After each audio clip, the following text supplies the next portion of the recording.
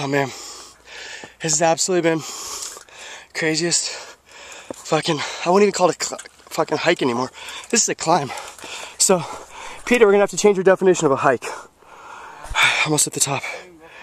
This is extreme rock climbing for sure. And this is the easiest part right here. But just giving you a little sense. Oh, my brothers. Oh yeah.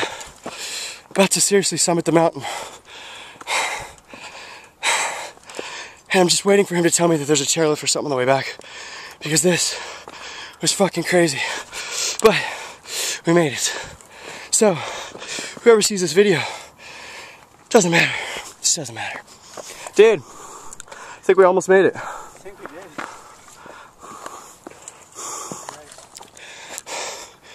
We literally just summited a mountain. Like, no shit.